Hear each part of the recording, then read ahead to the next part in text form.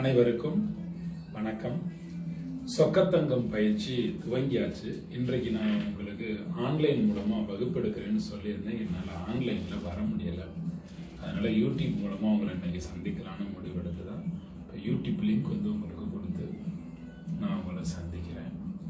ரொம்ப நிறைவான பயிற்சியாக இந்த அற்புதமான சொக்கத்தங்கம் பயிற்சி ஆன்லைன் பயிற்சி இருக்க போகுது. உடல் நலம் உங்களுக்கு கிடைக்கும் போது சுகமாக போகுது. பயிற்சியை துவங்குவதற்கு ஆயத்தமாக இருக்கக்கூடிய உங்களுக்கு வாழ்த்துக்கள் வரவேற்புகள். உடம்புல இருக்கக்கூடிய அசுத்தத்தை முழுவதுமாக நீக்கிவிட்டு உடம்புல இருக்கக்கூடிய கழிவு பொருட்களை முழுவதுமாக நீக்கிவிட்டு உடம்புல புது ரத்தம் பாய்ச்சும் போது புதிய உடலமைப்பை உருவாக்குவதற்கு ஒரு ஒரு செல்லிலும் புதுமையான மாற்றத்தை உருவாக்குவதற்கு வளர்ச்சிதை மாற்றத்துக்கு உதவி செய்யும் விதமாக இயற்கைக்கு உதவி செய்யும் காரணமாக உங்களுடைய உடலை காப்பாற்றுவதற்கு துடித்து கொண்டிருக்கக்கூடிய இந்த பஞ்சபூத சக்திக்கு உதவியாக உங்களுடைய உணவு முறையை பயிற்சி முறையை வாழ்க்கை முறையை நீங்கள் மாற்றுவீர்களே ஆனால் உங்களுடைய உடல் பரிசுத்தமாக குணமாகும். அற்புதமாக குணமாகும். அதுதான் நம்ம பயிற்சி முறைகளை நிறைய உங்களுக்கு சொல்லி கொடுத்துருக்கோம். ஆன்லைனில் நிறைய உங்களுக்கு முத்திரை பயிற்சிகளை அனுப்பிட்டேன். அவரவர் உடல்நல குறைபாடு என்னவோ அவரவருக்கு என்னென்ன பிரச்சனைகளோ எல்லாமே அனுப்பியாச்சு. வாழ்க்கை முறையை மாற்றி அமைச்சா போதும். நம்மளோட சரீர குற்றம் நம்மளோட சரீர குற்றம் எல்லாம் நீங்கி போகும். உங்களுக்கு குணமாக போகுது. ஏற்கனவே நாம கழிவு நீக்க பயிற்சி முடிச்சிருக்கிறோம்.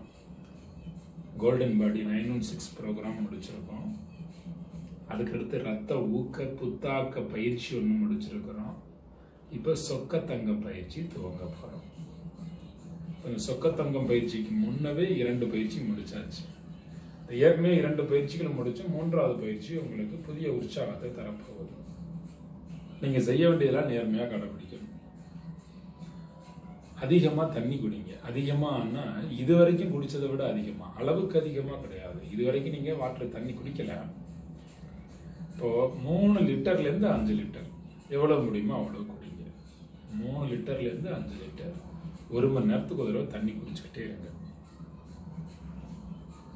ஒன்றரை மணி நேரத்துக்கு ஒரு தடவை அல்லது ரெண்டு மணி நேரத்துக்கு ஒரு தடவை ஒரு நாளைக்கு ஆறுல இருந்து ஏழு தடவை யூரின் போகும்னு வைங்களேன். யூரின் போகும். சில பேர் சொல்றாங்க என்ன டயட்ல சேர்ந்த பிறகுதான் எனக்கு அதிகமா யூரின் போகுது. எனக்கு எதுவும் உடம்புல பிரச்சனை இருக்குமோ? அப்படிங்கிறாங்க. உடம்புல பிரச்சனை இல்லைங்க. இப்பதான் முதன் முதலா யூரின் போறது. பார்க்க சிலவர்லாம் காலைல எழுந்திரிச்சு யூரின் போவாங்க.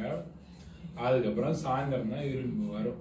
ஏன்னா உடம்புல வாட்டரே இல்லை. அல்லது யூரின் வர்றதை அடக்கி அடக்கி பழகிட்டீங்க உணர்வு முழுக்க செய்யும் விதமாக உடம்பை வைத்திருக்கிறீர்கள்.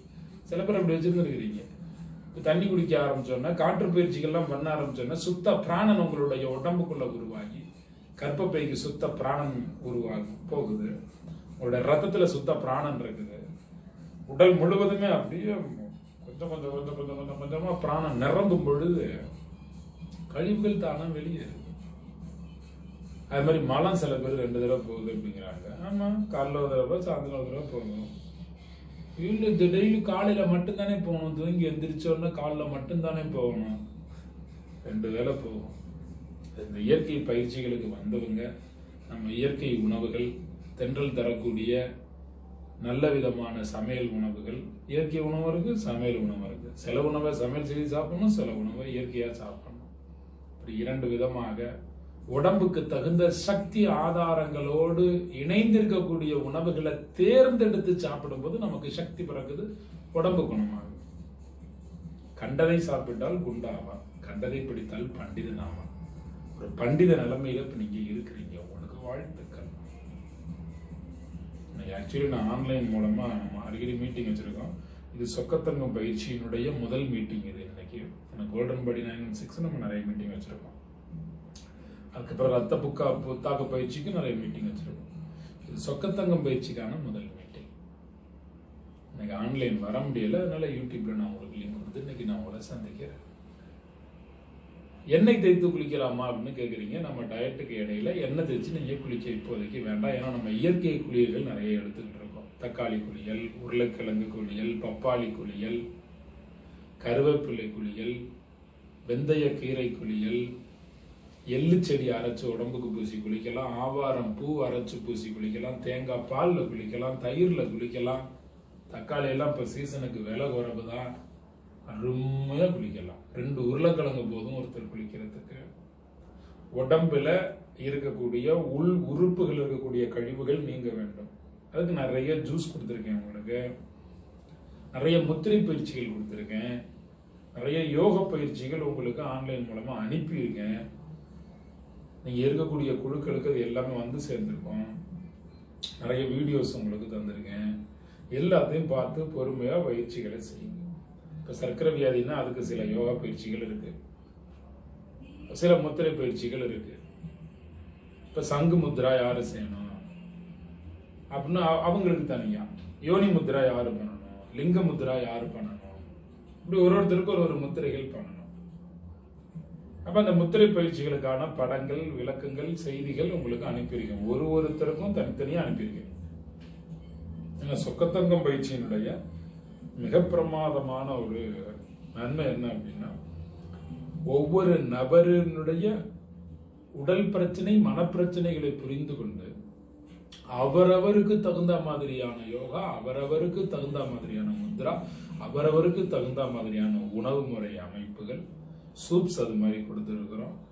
கீர் வகைகள் கொடுத்துருக்கோம் ஜூஸ் கொடுத்துருக்குறோம். காலை எழுந்தவுடன் என்ன பயிற்சி பண்ணணும்? அது நம்ம கொடுத்துருக்கோம். இரவு தூங்குவதற்கு முன்னாடி என்ன பயிற்சி பண்ணணும்? உறக்கத்துக்கான தியானம் தியானத்துக்கான ஆடியோ சிலருக்கு கஷாயம் தேவை அவங்கவுங்களுக்கு கஷாயம். எல்லாருக்கும் தேவையில்லை. ஒரு ஒருத்தருக்கு சொல்கிறேன் கஷாயம் பண்ணுறது கொடுத்துருக்கோம். நேரடி பயிற்சிக்கும் ஆன்லைன் பயிற்சிக்கும் என்ன வித்தியாசம்? நேரடி பயிற்சி அப்படிங்கிற போது உங்களுக்கு உணவுகளை தயாரித்து நாங்களே கொடுத்துருவோம். ஆன்லைன் பயிற்சிங்கிற போது நீங்கள் தான் தயாரித்து சாப்பிடணும். பலருக்கு சுவையாக உணவை தயார் செய்து சாப்பிட தெரியவில்லை. அல்லது சாப்பிட பொறுமை இல்லை. அல்லது நேரம் இல்லை என்கிறார்கள். நேரம் இல்லை. உணவு தயாரிக்க நேரம் ரொம்ப எல்லாம் ஆகாது. இப்போ வாழைப்பழ லட்டு அடுத்த பயிற்சியில் செய்ய போகிறோம் இப்போ மே மாதம் அடுத்து ஒரு நேரடி பயிற்சி இருக்கு. அதில் வாழைப்பழ லட்டு புதுசாக இன்ட்ரடியூஸ் பண்ணுறோம் இப்படி ஒன்று நம்ம புதுசு புதுசாக பண்ணுறோம் ரொம்ப நேரம் வந்து குறவு தான் அது வந்து தயார் பண்ணுறதுக்கு நேரம் குறைவு. சில பேர் ஃபாலோ பண்ண முடியலைங்கிறாங்க. இப்போ ஒரு ஓட்டப்பந்தய வீரர் காலில் சுழுக்காயிருச்சு அவர் என்ன செய்யணும்? ஒரு மருத்துவ நிபுணத்துவம் வாய்ந்தவரை பார்த்து சுழுக்காயிருச்சு சரி பண்ணுங்கன்னா அவர் சொல்லுவார். ரெண்டு நாள் ரெஸ்ட் எடுங்க. வாங்க காலைல வாங்க இல்லை சாயந்தரம் வாங்க நான் சுளுக்கு எடுத்து விடுறேன் ஆயில் போட்டு நீவி விடணும் இப்படி ரெஸ்ட் எடுங்க இப்படி ஒத்தரம் கொடுங்க அதெல்லாம் சொல்லி அனுப்புவார். அதை விட்டு அந்த ஓட்டப்பந்தய வீரர் நான் ஓடிக்கொண்டே இருப்பேன் நான் ஓடிக்கொண்டே இருக்கும்போது நீங்கள் என் பின்னவே ஓடி வந்து எனக்கு சரி செய்து கொண்டே இருங்கள். நான் ஓடிக்கொண்டே இருப்பேன் நான் ஓடும்போதே நீங்கள் சுருக்க எடுத்துக்கொண்டே இருங்கள் அப்படின்னா அராஜகம். அப்படி சொன்னேன் அப்படி சொன்னேன் சுருக்க எடுக்குன்னா அது எத்தனை நாள் ரெஸ்ட் எடுக்கணும் எப்படி இருக்கணும்னு தேர்ந்தெடுக்கிறது யாரு? அந்த நிபுணர் தான். நீங்க என்னை அணுகிட்டீங்கன்னா நான் தான் உங்களுக்கு நேரம் சொல்லணும் இத்தனை நாள் ஆகும் குணமாகறதுக்கு. இப்படி இப்படி ஃபாலோ பண்ணணும். இன்னும் முறைகள் செய்யணும். இன்னும் யோகா செய்யணும். எத்தனையோ நல்ல ஆசான்கள் நல்ல குருமார்களினுடைய பயிற்சிகளின் மூலமாக விஷயங்களை தெரிந்து கொண்டு சில படிப்பின் மூலமாக விஷயங்களை தெரிந்து கொண்டு எத்தனையோ மக்களை குணப்படுத்திய அனுபவத்தின் மூலமாக நிறைய விஷயங்களை தெரிந்து உங்களை குணப்படுத்தணும் அப்படிங்கிற ஒரு நல்ல எண்ணத்தில் உங்கள் முன்னே வந்து நின்று உங்களை குணப்படுத்தணுங்கிற எண்ணத்தில் நீங்கள் என்னவெல்லாம் சொல்கிறீங்களோ அதெல்லாம் உள்வாங்கி உங்கள் பிரச்சனைகளை உள்வாங்கி இப்படிலாம் செஞ்சால் நல்லா இருக்கும்னு சொன்னான் என் வேலையை நான் பார்த்துட்டே இருப்பேன் அவன் எனக்கு குணமாகணும் அப்படின்னா நீங்கள் இது வரைக்கும் வேலை பார்த்ததுனால தானே உங்களுக்கு பிரச்சனைங்க நீங்கள் இது வரைக்கும் எப்படி வாழ்ந்தீங்களோ அதனால தானே உங்களுக்கு பிரச்சனைங்க இதுவரை என்னென்ன வாழ்க்கை முறைகளை என்ன உணவு முறைகளை வைத்திருந்தீர்களோ எப்படியெல்லாம் இன்று வரை உறங்கினீர்களோ இதுவரை நீங்கள் செய்ததுனால தானே பிரச்சனைய. அதையே நான் செய்து கொண்டே இருப்பேன் ஆனால் என்னை குணப்படுத்துங்கள் என்றால் எப்படி முடியும்? எப்படி முடியும்? இது ஒரு விஷயத்த நான் சொல்ல போனால் உங்களுக்கும் எனக்கும் சண்டே ஆகுது என்னையோ கோவக்காரங்கிறீங்க நான் கண்டிஷன் பண்ணுறேங்கிறீங்க நான் அப்படி சொல்கிறேன் இப்படி சொல்கிறேங்கிறீங்க எப்படி இது? நல்லா இருக்காது? நான் மழை நினைஞ்சுக்கிட்டு இருக்கேங்கிறீங்க சில பேர் சொல்கிறீங்க மார்க்கெட்டிங்கில் இருக்கேன் எனக்கு ட்ராவலிங் இருக்குங்கிறீங்க நான் டீச்சராக இருக்கேங்கிறீங்க நான் அந்த வேலை பார்ப்பேன் இந்த வேலை பார்ப்பேன். I have a work work இருக்கு ஒர்க் என்ன ஒர்க்கு என்ன ஒரு ரெண்டு மாதம் இல்லை ஒரு பத்து நாள் இருபது நாள் ஒரு ஒருத்தருக்கு ஒரு ஒரு டைம் சொல்கிறோம் குறிப்பிட்ட நாட்கள் கொஞ்சம் வேலையை குறைச்சிக்கோங்க. கொஞ்சம் உடம்ப சுகப்படுத்திக்கங்க. அதுக்கப்புறம் நீ- நீங்கள் வந்து ஒர்க் பண்ணலாம். ஒர்க் உங்கள் ஒர்க்கை பார்த்துக்கிட்டு உடம்பு போகுதுன்னா என்ன அது ஒரு அநியாயமா இல்லையா? நான் வேலை பார்த்துக்கிட்டே இருப்பேன் நீ குணப்படுத்துங்கன்னா. அநியாயம். உடம்புக்கு செய்யக்கூடிய அநியாயம் உடலுக்கு செய்யக்கூடிய துரோகம் உங்களுக்கு இறைவன் இருக்கக்கூடிய பெருசாகிய உங்களுக்கு உடலை நீங்கள் அராஜகமாக காயப்படுத்துகிறீர்கள் துன்பப்படுத்துகிறீர்கள் வியாதிக்குள்ளே ஆட்படுத்தி விட்டீர்கள். நான் உங்கள் உடலின் சாட்சியாக இருந்து சொல்லுகிறேன். உங்கள் உடலாக நான் இருந்தால் உங்களுக்கு பெரிய தண்டனையை கொடுப்பேன். கஷ்டம். உடம்பு கஷ்டம் உங்களுக்கு இன்னும் சில மற்றவங்களுக்காக பார்த்துக்கிட்டு உங்கள் வாழ்க்கையை விட்டுட்டீங்க. அவரை தூங்க வச்சேன் இவருக்கு ஜோராக்கி போட்டேன். வீட்டை கூட்டினேன் வாசலை கூட்டினேன் கோலத்தை போட்டேன். அவங்களுக்கு சமைச்சு கொடுத்தேன் இவங்களுக்கு பொரியல் வச்சு கொடுத்தேன் இவருக்கு இட்லி சுட்டு போட்டேன். இப்படி சொல்லிக்கிட்டு உங்களை கவனிச்சுக்க மாட்டாங்க. தப்பு யாரோடது? யாரோடது தப்பு? அதனால கொஞ்சம் கவனம் கொடுங்க. நீங்க தான் உங்களை காப்பாற்ற முடியும். அதை நீங்க பாருங்க. நம்ம டயட்டை விடாமல் ஃபாலோ பண்ணுங்கள் கழிவுகள் நீங்க வேண்டும். இது வரைக்கும் அதிகபட்சமான கழிவுகளோ உடம்புல இருந்து நீக்கியாச்சு. இன்னமும் கழிவுகள் தேங்கி இருந்தால் இந்த பயிற்சியில் கழிவுகள் நீங்கும். கழிவுகள் நீங்கும். அதனால பொறுமையா ஃபாலோ பண்ணணும். காலைல சீக்கிரம் எந்திரிங்க அப்படின்னு சொல்றதுக்கான காரணமே வந்து அஞ்சு டு ஏழு பெருங்குடல் நேரம். காலைல எந்திரிச்சா அஞ்சு டு ஏழுக்குள்ள மலம் போகணும். எந்திரிச்சா அரை மணி நேரம் கழிச்சு மலம் போகும். சில பேருக்கு எந்திரிச்ச உடனேயே மலம் போகும். அப்போ மூன்றரை நாலு நாலரை நாலு முக்கால் அஞ்சு மணி. அந்த அஞ்சு மணிக்கு முன்னாடி எந்திரிச்சிடணும் இரவிலே உறங்கி இரவில் எந்திரிக்கணும். அதுதான் நம்ம டயட்டினுடைய அடிப்படை கோட்பாடு. கண்ணும் நல்லாயிருக்கும் நாலரை மணிக்கு எந்திரிச்சா ரொம்ப நல்லது. அதுக்கு நைட்டு ஒம்பதரைக்கோ எட்டரைக்கோ பத்து மணிக்காவது தூங்கணும். தூங்கணும். காலையில சாயந்தரம் டெய்லி ஒரு அரை மணி நேரமாவது வேர்க்க வேர்க்க உடற்பயிற்சி பண்ணணும். இல்லை நடக்கணும். ஏதாவது ஒன்று செய்யணும். செருப்பு இல்லாம நடங்கன்னு சொன்னா பாதுகாப்பான இடத்துல போய் நடக்காம முள்ளு இருக்கிற நடந்து காலில் முள்ளையும் ஆணியையும் குத்திக்கிட்டு என்கிட்ட வந்து போன் அடிச்சு உங்களாலதான் காலில் ஆணி குத்திச்சு எனக்கு முள்ளு குத்திச்சுன்னு எனக்கிட்ட சொன்னா சாராயப்பேட்டில் உடச்சு போட்டு கிளாஸ் கிடக்கிற ஏரியாவில் வெறுங்காடம் நடக்க சொன்னா சொன்னேன் வெறுங்காடம் நடக்க சொன்னேன் சாராயப்பேட்டில் மேலே ஏறி நடந்து காலை பொத்து கிழிச்சு வச்சுருந்தா அநியாயமா இல்லையா ம்? நீங்கள் உடற்பயிற்சிகள்லாம் பண்ணுறதுக்கு தான் உடற்பயிற்சி வீடியோஸ் நிறைய தகவல்கள் அதோடைய பெனிஃபிட்ஸ் சயின்டிஃபிக் ரீசன்ஸ் எல்லாமே நான் உங்களுக்கு அனுப்பி வச்சுருக்கேன். ஆனால் ஃபாலோ பண்ணுங்க. அதெல்லாம் ஃபாலோ பண்ணுங்க. கூடுமான வரை பகல் வேளையில் குளிர்ந்த நீரில் குளிங்கள் இது கோடை காலம் என்பதால் இரவு நேரத்தில் சிலரால் சுடுதண்ணியில் குளிக்கிறது கஷ்டம். அப்போ குளிர்ந்த நீரிலே குளிங்க இரவு நேரத்தில் சுடுதண்ணியில் குளித்தா சில பேருக்கு தூக்கம் நல்லா வரும். உங்களுக்கு நைட்டு சுடுதண்ணி குளிச்சு பாருங்க. தூக்கம் வந்தால் சுடுதண்ணி ஓகேன்னு கண்டுபிடிச்சிருங்க இல்லை பச்சரில் குளிச்சா நல்லா இருக்கு அப்படின்னு வெறுதண்ணியில் குளிங்க. கண்டிஷன்லாம் ஒன்றும் இல்லை. ரெண்டு வேளை குளிக்கணும் அவ்வளோதான் குளிக்கணும். ரொம்ப முக்கியமான விஷயம் சொக்கத்தங்கம் டயட்ல நல்லா தெரிஞ்சாங்க தினசரி இறை வழிபாடு. கண்டிப்பாக முக்கியம். நீங்கள் எந்த இறைவனை நம்புகிறீர்களோ நீங்கள் எந்த இறைவனை வணங்குகிறீர்களோ நீங்கள் எந்த மார்க்கத்தை சேர்ந்த உங்களுக்கு குலதெய்வம் இருக்கலாம் அல்லது இஷ்ட தெய்வம் இருக்கலாம். எந்த தெய்வத்தெல்லாம் நீங்கள் வழிபடலாம். வழிபடலாம். எந்த தெய்வத்தையும் வழிபாடு செய்வதற்கு உங்களுக்கு முழு உரிமை உண்டு. வழிபாடே செய்யாதவர்கள் எனக்கு தெய்வத்தை சிலை உருவத்திலே சிலை வழிபாட்டிலே நம்பிக்கை இல்லை என்பவர்கள் அதுவும் வரவேற்க தகுந்தது அதுவும் வரவேற்க தகுந்தது வழிபாடு இல்லைன்னா இயற்கையை நம்புறீங்களா? யாரை நம்புறீங்க? யாரையொருத்தர் நம்பித்தானே ஆகணும். பஞ்சபூதத்தை நம்புறீங்க ஞான மார்க்கமா இல்லை ஞானஸ் மார்க்கமா நீங்கள் என்ன மார்க்கம்? மந்திரங்கள் சொல்லுவீங்களா? என் என்ன மார்க்கமோ? மொத்தம் ப்ரேயருக்கு என்ன வழிபாட்டுக்கு என்று நம்மை மீறிய ஒரு சக்தி இந்த டிவைன் பவர் ஸ்பிரிச்சுவல் எனர்ஜி இருக்கிறது என்பதை உணரும் விதமாக தினசரி ஒரு பத்து நிமிடமாவது கோவிலுக்கு செல்லக்கூடிய பழக்கம் இருக்கக்கூடியவர்கள் கோவிலுக்கு செல்லுங்கள்.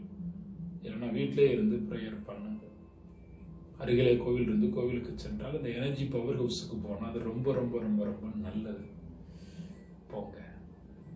டெய்லி பத்து நிமிடம் வழிபாட்டுக்காக ப்ரேயருக்காக ஒன்று தன்னை நம்பி வாழ வேண்டும் அல்லது பிறரை நம்பி வாழ வேண்டும் அல்லது தெய்வத்தை நம்பி வாழ வேண்டும். தெய்வ வலிமை அல்லது பிறர் வலிமை அல்லது தன் வலிமை. இந்த மூணு வலிமையில் ஏதாவது ஒரு வலிமை ஒரு மனுஷனுக்கு வேணும். மூணு வலிமை இருந்தால் சூப்பர் இந்த மூணு வலிமையில் ஏதாவது ஒரு வலிமை இருந்தால் நீங்கள் ஜெயிக்க முடியும்.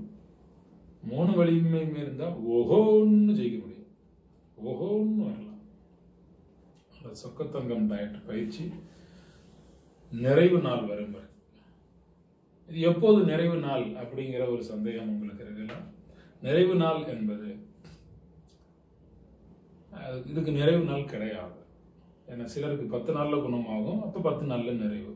நீங்கள் நிறைவாய்க்கலாம். சிலருக்கு இருபது நாள் ஆகும் அப்போ இருபது நாளில் அதிகபட்சம் நாற்பத்தி எட்டு நாட்களை தாண்டாது.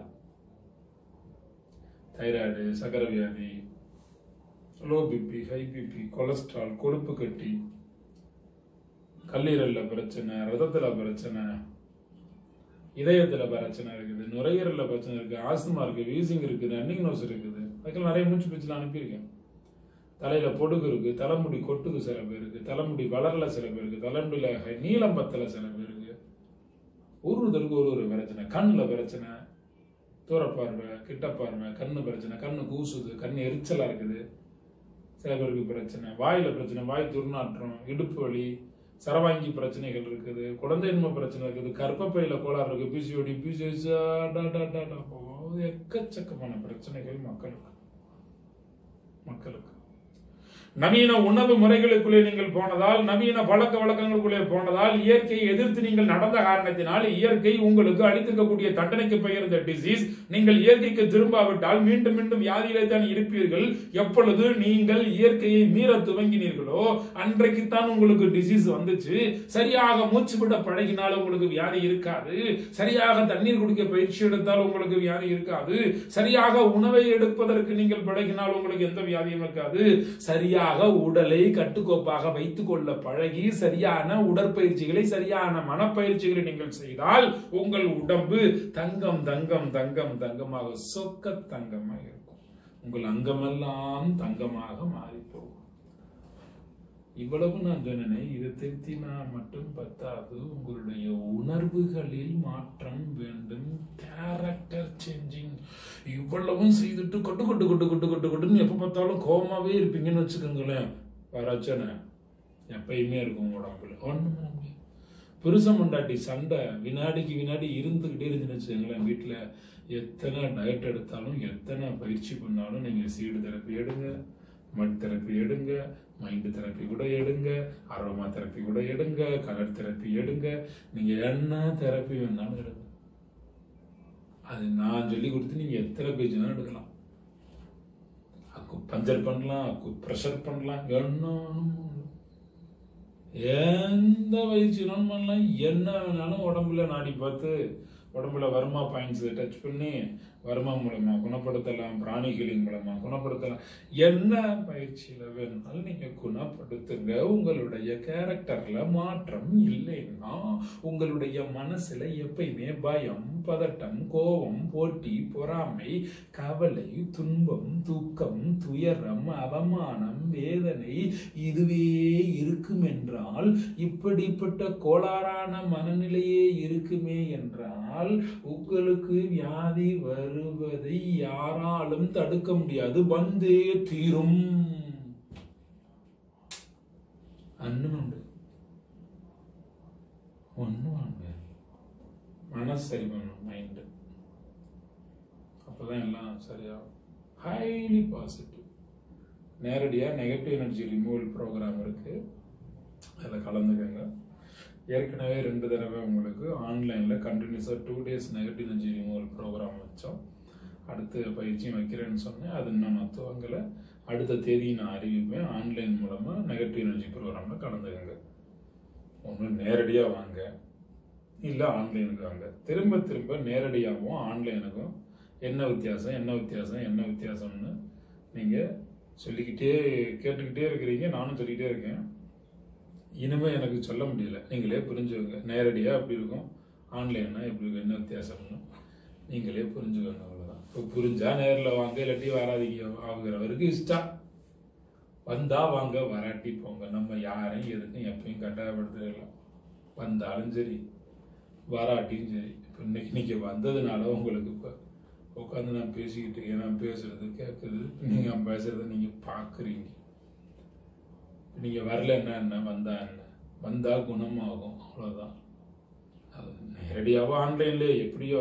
சில சில பேர் ஆன்லைனில் இருந்துட்டு நேரடி பயிற்சிக்கும் இதுக்கு என்ன வித்தியாசம் வித்தியாசம்னா நேரடியாக அம்மா சாப்பாடு போட்டு சாப்பிட்றா மகனேன்னு அம்மா பாசத்தோடு கூட்டி விடுறதுக்கும் அம்மா போனில் சாப்பிட்டியா ராஜா சாப்பிட்ற ராஜான்னு சொல்கிறதுக்கும் ரெண்டுக்கும் வித்தியாசம் இருக்குது ரெண்டுக்கும் வித்தியாசம் இருக்குது இப்போ அம்மா ஃபோன்லேயே சாப்பிட்றாதுன்னு சொல்லும்போது அம்மாவை உணர்ந்து அம்மாவோட உணவு சுவையை உணர்ந்து அந்த ஒரு தெய்வீகத்தன்மையோட உணவை எடுத்து அம்மா சாப்பாடு ஊட்டி விடுற மாதிரியே நினச்சிக்கிட்டு அந்த ஃபீலிங்லேயே சாப்பிட்ற பிள்ளைங்களும் இருக்கு.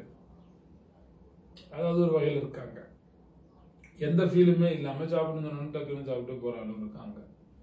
அதாவது தூரத்துல இருந்து அம்மா சொன்னா கூட அம்மா அருகில இருந்து செயல்பட்டா அப்படி இருக்குமோ அந்த அளவுக்கு ஒரு ஒரு எண்ணத்தில் ஒரு இமேஜினில் சில பேர் செயல்படுவாங்க. சில பேர் அந்த பாசத்தோட இருப்பாங்க.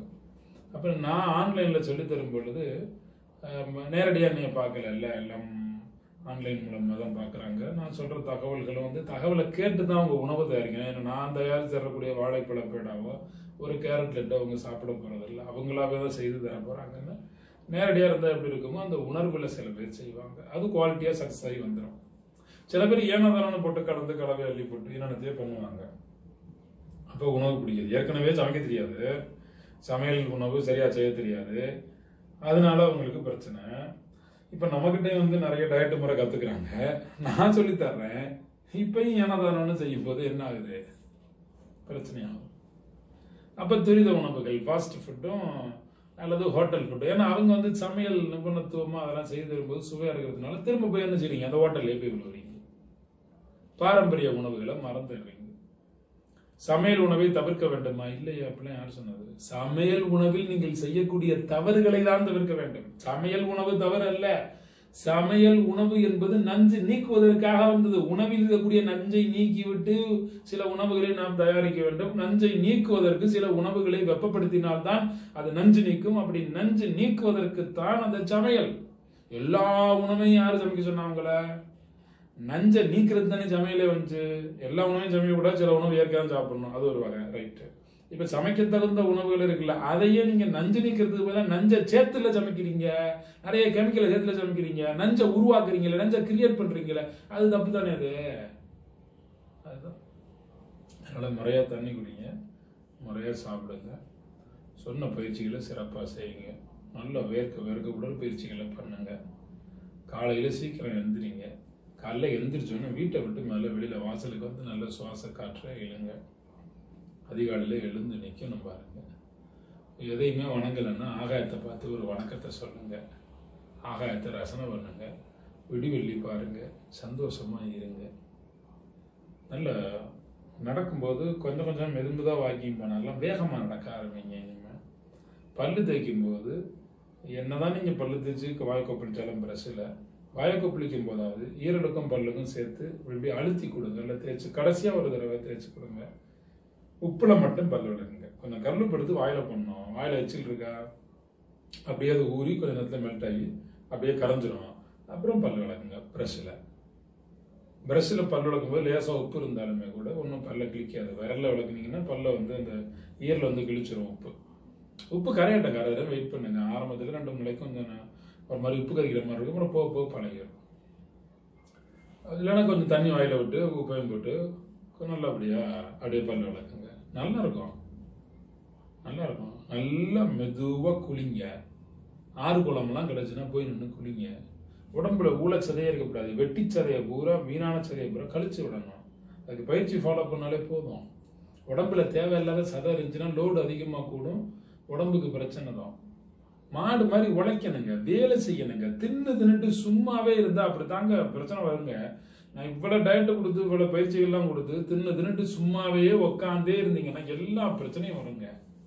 அதுவும் வீட்டுக்குள்ளேயே இருந்தீங்கன்னா எல்லா பிரச்சனையும் வருங்க. வீட்டுக்குள்ளேயே இருக்காதீங்க. வீட்டில் இருங்க தூங்குங்க எந்திரிங்க சாப்பிடுங்க எல்லாம் பண்ணுறீங்களா பல நேரங்களில் வீட்டை விட்டு வெளியில் போங்க. ஆனால் கோவிலுக்காக வீட்டை விட்டு வெளில போகிறேங்கிற பேர்ல ஒரு அரை மணி நேரம் அந்த வீட்டை விட்டு தான் வெளியில் போங்களேன். அங்கேயே இருக்கிறதான் பிரச்சனை. சில பேருக்கு வீட்டிலேயே நெகட்டிவ் எனர்ஜி இருக்கும். அதான் பிரச்சனை.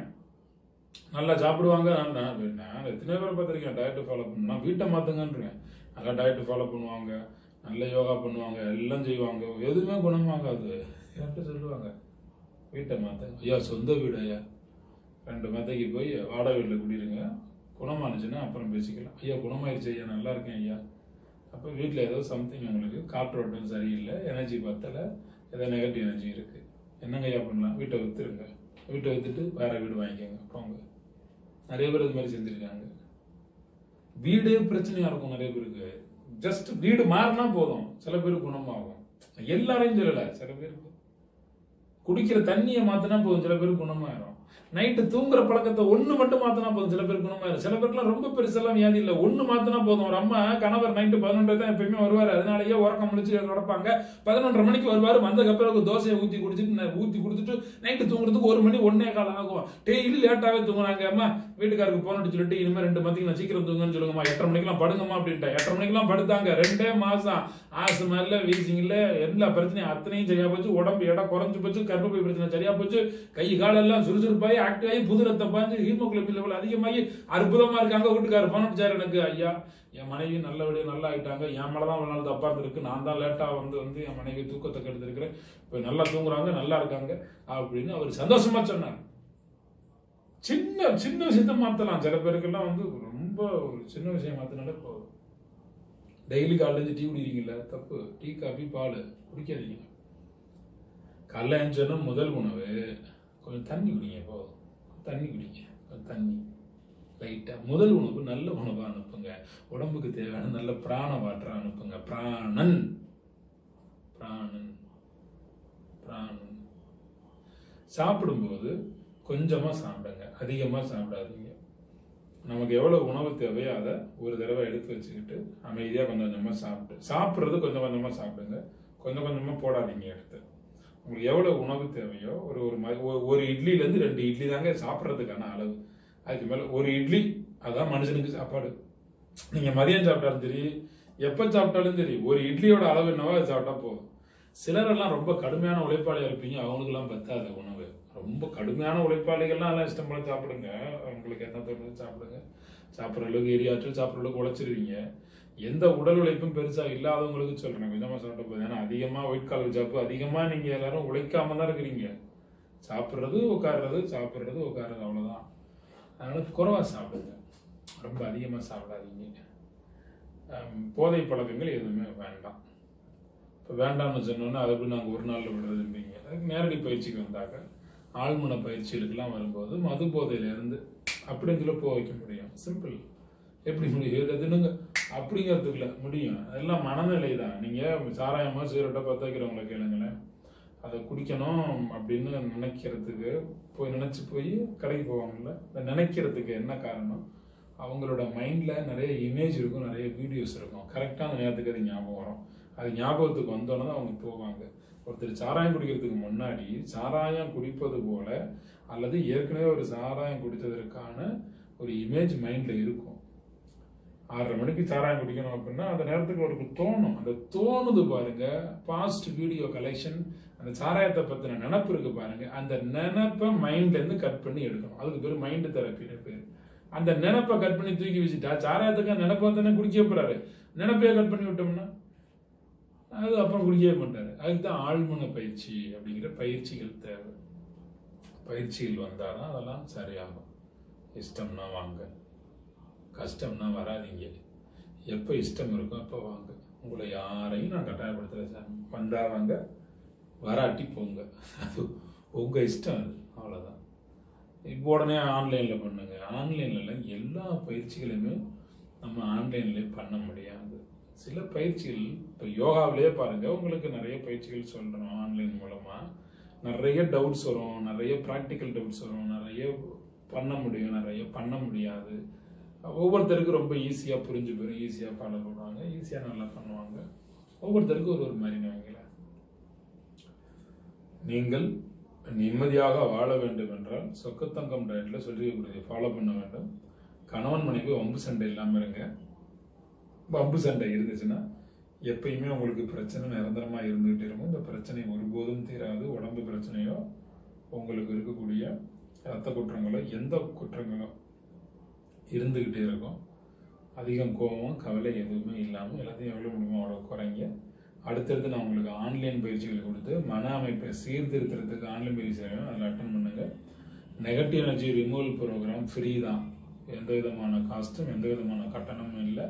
நெகட்டிவ் எனர்ஜி நீங்கள் நேரடியாக வந்தாலும் நெகட்டிவ் எனர்ஜி ரிமூவ் ப்ரோக்ராம் உங்களுக்கு இலவச பயிற்சி.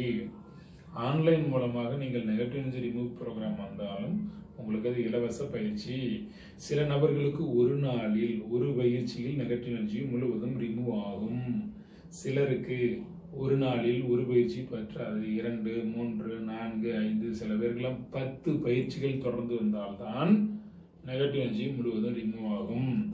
நெகட்டிவ் அப்படிங்கிறது ஒரு துஷ்ட சக்தி துர்சக்தி துர்தேவதைகள் துர்த்த துர்த்தன்மையை கொடுக்கக்கூடிய பிரச்சனைகளை தரக்கூடிய ஒரு சக்தி இருக்கும். அதான் நெகட்டிவ் எனர்ஜி அது உடம்புல இருக்கலாம் உங்கள் உள்ளத்தில் இருக்கலாம் அல்லது உங்கள் வீட்டில் இருக்கலாம். நீங்கள் செல்லும் இடமெல்லாம் இருக்கலாம். நெகட்டிவ் எனர்ஜி நெகட்டிவ் மனிதர்களை விட்டு விலகிறது எப்படி? நெகட்டிவ் எனர்ஜி அவங்ககிட்ட வந்து போக்குறது எப்படி? ஹையர் பாசிட்டிவ் ஹைனஸ்ஸா ஹையஸ்ட் பாசிட்டிவா எப்படி நீங்க கன்வெர்ட் ஆகிறது? ஹையஸ்ட் பாசிட்டிவ் பர்சனாக எப்படி மாறுறது? அதெல்லாம் உங்களுக்கு சொல்லித் தரக்கூடிய ஒரு பாசிட்டிவ்லி அப்ரோச்சபிள் ப்ரோக்ராம் தான் நெகட்டிவ் எனர்ஜி ரிமூவல் ப்ரோக்ராம் விடக்கூடாது. நேரம் இல்லை நேரம் இல்லை நேரம் இல்லை நான் நான் நினைக்கிறேன் உங்களுக்கு இன்னும் நல்ல நேரம் சில பேருக்கு ஆரம்பிக்கல போல இருக்கு. அதனால தான் எனக்கு நேரம் இல்லையா? ஐ ஹேவ் நாட் டைம் அப்படிங்கிறீங்க நிறைய பேர் என்கிட்ட எனக்கு வந்து மீட்டிங் அட்டன் பண்ண டைம் இல்லை. ஏன் டைம் இல்லைன்னா உங்களுக்கு நல்ல நேரம் வரல. நல்ல நேரம் வந்தால் தான் பயிற்சியில் நீங்கள் அட்டன் பண்ணுவீங்க. சரி பார்ப்போம். உங்களுக்கு வந்து இந்த ஜென்மத்தில் நல்ல நேரம் வருதா? நெக்ஸ்ட் ஜென்மாவா? இல்லை நெக்ஸ்ட் நெக்ஸ்ட் ஜென்மாவா? எந்த ஜென்மாவோ தெரியல. எல்லாம் அவன் செயல். அவன்தால் அவன் வணங்கி. அவன் அருளாலே தான் அவன் வணங்க முடியும். நாம் இறைவனை நினைக்க முடியும்னா நாம் இறைவனை வணங்க முடியும்னா இறைவனை அணுக முடியும்னா நாம இறைவனை நினைக்கணும்னா அவன் நம்மளை நினைச்சா தான் முடியும். எந்த ஒன்றும் நீங்கள் அடைய வேண்டும் என்றால் நீங்கள் நினைத்தால் மட்டும் பத்தாது. நீங்கள் நினைப்பதற்கு முன்னால் அது உங்களை நினைத்திருக்க வேண்டும். நீங்கள் இந்த ஆரோக்கியத்தை நினைத்திருக்கிறீர்கள். ஆரோக்கியத்தை தேடி என்னை தேடி நீங்கள் வந்திருக்கிறீர்கள். நீங்கள் என்னை தேடி வந்திருக்கிறீர்கள் என்றால் ஆரோக்கியமும் இயற்கையும் இயற்கை உணவும் இந்த நல்ல விதமான ஒரு ஹெல்த்தி லைஃப் ஸ்டைல் ஏற்கனவே உங்களை நினைச்சு பார்த்ததுனால தான் நீங்கள் ஈர்க்கப்பட்டீர்கள்.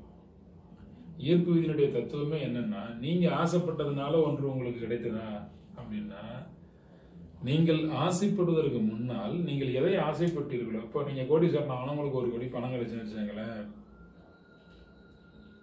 எப்படி நீங்கள் ஒரு கோடி நினைத்துக் கொண்டிருந்தீர்களோ அந்த ஒரு கோடியும் உங்களை அடைவதற்கு அது நினைத்துக் கொண்டிருந்தது. அதனால தான் உங்களுக்கு ஒரு கோடி பணம் வந்துச்சு.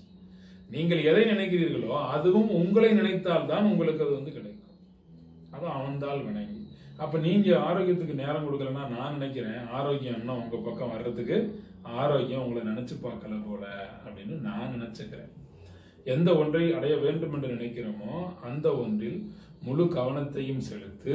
விவேகானந்தர் சொன்னார் முழு கவனத்தை செலுத்தினால் பத்தாது. உன் குருதி ஓட்டத்தோடும் அதை கலந்து விடு. உன் குருதியில் செலுத்து உன் கண் கருத்தில் செலுத்து உன் கண்ணில் செலுத்து உன் காலில் செலுத்து உன் ஒரு ஒரு செல்களிலும் செலுத்து. எந்த நேரமும் அதே நினைப்பிலேயே இரு. அனைத்திலும் செலுத்து. ஒரு ஒரு செயலிலும் செலுத்து. ஒரு ஒரு செல்களிலும் செலுத்து. இதெல்லாம் விவேகானந்தர் சொன்னது.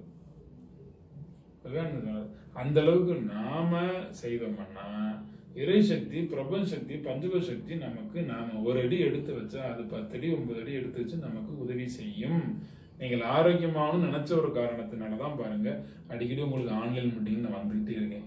அடிக்கடி உங்களுக்கு தகவல் அனுப்பிக்கிட்டே இருக்கேன். நீங்க ஆரம்பத்துல நினைச்ச அடிப்படை நினைப்பு நீங்க குணமாகணும்னு நினைச்ச ஒரே காரணத்தினால நீங்க எனக்கு மெசேஜ் அனுப்புனது ஒரு தடவை. ஐயா நான் ஆன்லைன் பேஜில் சேர்ந்து கொள்கிறேன். ஸோ அண்ட் ஸோ எனக்கு என்னென்ன டிசீஸ் இருக்குது இதென்ன குணப்படுத்தணும். இவ்வளவு எனக்கு நல்லது நடக்கணும். என்னென்னது எனக்கு தேவை. அப்படின்னு ஃபர்ஸ்ட் டைம் எனக்கு ஒரு ஒரே ஒரு மெசேஜ் அனுப்புனீங்க. அதுக்கப்புறம் எல்லா தகவலுமே நான் உங்களுக்கு கொடுத்துக்கிட்டே இருக்கேன். இன்றைய வரைக்கும் நிறைய தகவல்கள் நான் தர்றேன். எவ்வளோ அ- அறிவுபூர்வமான தகவல்கள் ஆற்றலான தகவல் உங்களுக்கு வந்து வந்து சேருது பாருங்க. அதுதான். பிரபஞ்சத்தினுடைய சக்தி. நீங்கள் ஒன்று தேட ஒரு முயற்சி எடுக்க அது பத்து மடங்கு உங்களுக்கு திரும்ப கிடைக்கிறது அதனால் குணமாக ஆசைப்படுங்க. நான் சொன்ன தியான பயிற்சிகள் எல்லாத்தையுமே செய்யுங்க. நிரம்ப இருங்க. உங்களுக்கு நிரம்ப என்னுடைய மனதார வாழ்த்துக்கள் நீங்கள் குணமாகணும். அடுத்து ஆன்லைன் மீட்டிங்கில் நான் உங்களை சந்திக்கிறேன். இன்றைக்கி என்னால் ஆன்லைன் மீட்டிங் வர முடியல. அதனால தான் யூடியூப்பில் மீட் பண்ணோம்.